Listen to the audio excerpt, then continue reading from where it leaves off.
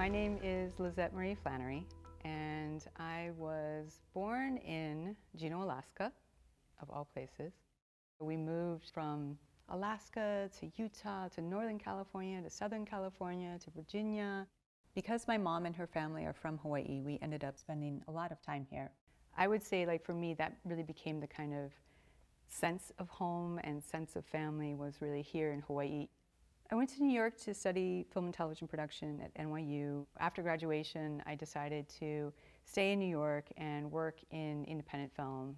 We began work on this uh, very ambitious project about hula in California. I was very interested in this story because it was about hula as it was kind of creating community and um, bringing people from Hawaii together, you know, on the continent in California, uh, primarily in Los Angeles and San Francisco together.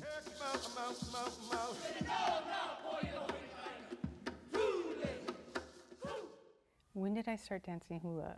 It really wasn't until, honestly, I started working on the first film that I said, you know, I know a little bit, but I need to really kind of do some research. So it kind of started more as to help me make the film and then kind of just became like a whole huge part of my life. I believe the first time that I met Lisette was when she was doing a, a documentary on hula, American Aloha. And that was the first time, and she came to the halau, introduced herself, and um, I was so impressed with Lisette because for those people who know Lisette, Lisette is super prepared, and she's very studious. It's one, one of the reasons why I allowed her to study with me for our Uniki class because she was in New York and the class was in San Francisco. But I had no doubt that she would be fantabulous. At the time I was dancing hula in New York and I would constantly get like very dumb questions about hula. It just kind of gave me this fuel to kind of say, okay, I'm so tired of trying to explain this over and over and over again. And why I just make a film? I would say at the time, there wasn't, like, I didn't really feel like there were lots of stories about Hawaii and Hawaiian culture that were, you know, on public television. There were a lot of like the first questions in Q&A were kind of like, "Oh my god, like I had no idea that men danced. I've never seen a man dance hula. How did this happen?" And there there were so many questions um, from that film that made me kind of realize like, "Hmm, maybe I should make a film about men who dance hula."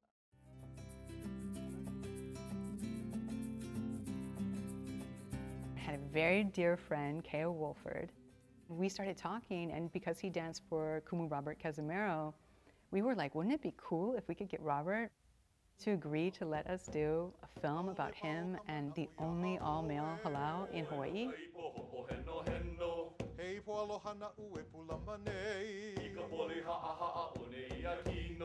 So when he finally agreed to, you know, allow us really to make the film, I felt, of course, ecstatic and super excited, but I also felt this tremendous pressure. Like I really wanted to do um, a good job. I wanted the film to be something that really represented Robert, really represented the men.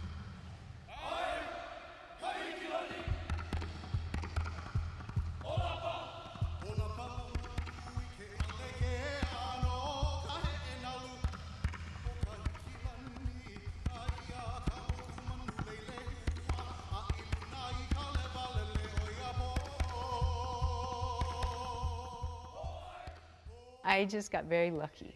I got very, very lucky. And I also, I kind of think like it, I had very little to do with it. I was just like kind of a conduit to kind of help capture this like amazing, tiny little piece of their journey.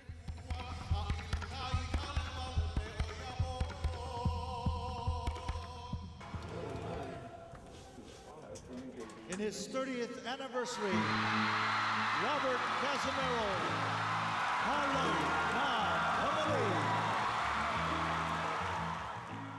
Everything about that movie was pretty magical. Oh,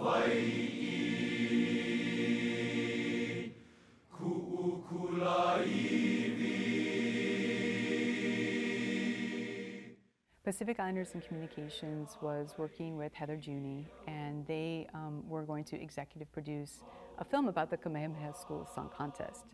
And that was, I think, in 2007, we started um, talking about it. I really was a little nervous because A, it's Kamehameha schools. You want to make an amazing movie, obviously. And B, I mean, this is a very beloved tradition here in Hawaii, so I really didn't want to F that up.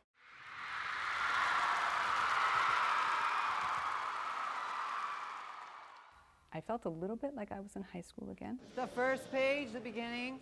Ike kulu kulu okeo. It sounds like It you was hanging out 10 high schoolers for a year and following them around uh, school and getting to go home with them and meet their families and kind of go on this journey to song contests with them.